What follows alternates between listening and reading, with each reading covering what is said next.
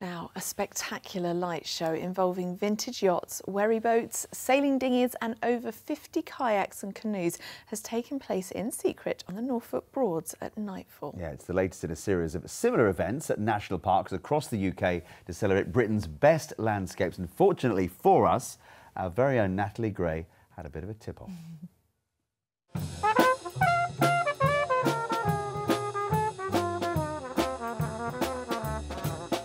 what a wonder on the water.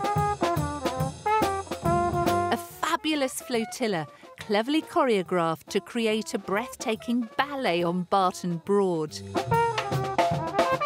Geolights glowing in the gloom. We've got about 30 or 40 vessels sailing around. Around 50% of these vessels are being crewed by people with a disability. It's absolutely amazing. We've got the band playing, lovely weather, and yeah, very, very pleased. Do you feel quite moved by it? I'm incredibly moved. In fact, I had a little cry earlier on.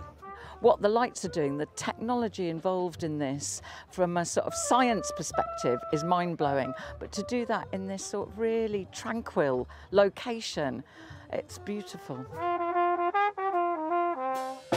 And it was beautiful even before the sunset. Kayakers and canoeists with lights in their backpacks ready for this outdoor art show one of 10 ambitious unboxed creativity events happening all over Britain. I feel very privileged to have been asked to be part of it. I've never been out on Barton Broad in the night in the evening like this, so it's it's lovely.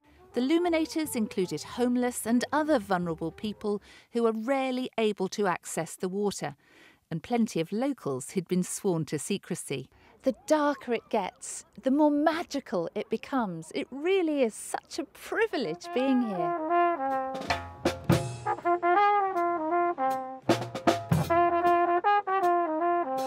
It was wonderful, it was awesome, and all the colors coming up, the music, I loved it. And so did I. The perfect evening in one of the most precious wetland habitats in Britain short film will be uploaded to the Green Space Dark Skies website soon.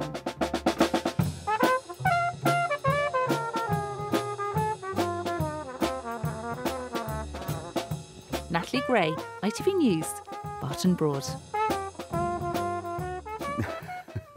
wow, beautiful. That must have taken some choreography to A get that all right. Absolutely. Well right, the ITV Evening News is at 6.30. Here's Lucrezia.